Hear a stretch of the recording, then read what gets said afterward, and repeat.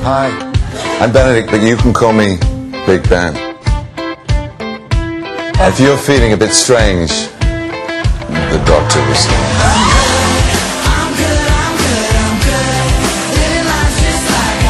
A bottle of water. Bottle of water. Have you done this before? It's like if you read the script, you come better prepared. yes, admitting. I'll be good to you. Promise.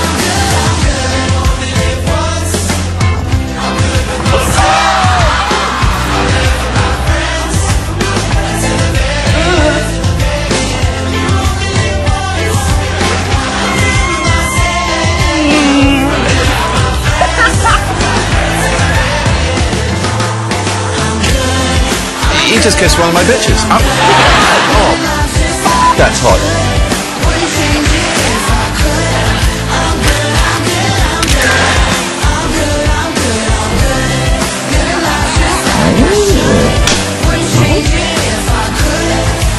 Why is Benedict Cumberbatch hot?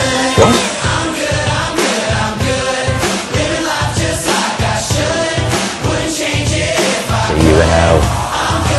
You can't park here.